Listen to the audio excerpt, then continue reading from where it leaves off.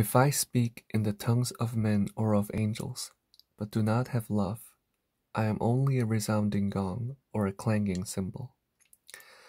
If I have the gift of prophecy and can fathom all mysteries and all knowledge, and if I have a faith that can move mountains, but do not have love, I am nothing. If I give all I possess to the poor and give over my body to hardship that I may boast, but do not have love, I gain nothing. Love is patient, love is kind. It does not envy, it does not boast, it is not proud, it does not dishonor others, it is not self seeking, it is not easily angered, it keeps no record of wrongs. Love does not delight in evil, but rejoices with the truth.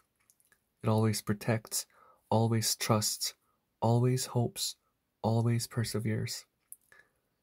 Love never fails, but where there are prophecies, they will cease.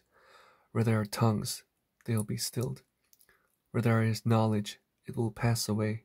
For we know in part and we prophesy in part. But when completeness comes, what is in part disappears. When I was a child, I talked like a child, I thought like a child, I reasoned like a child. When I became a man, I put the ways of childhood behind me, for now we see only a reflection as in a mirror. Then we shall see face to face. Now I know in part, then I shall know fully, even as I am fully known. And now, these three remain faith, hope, and love.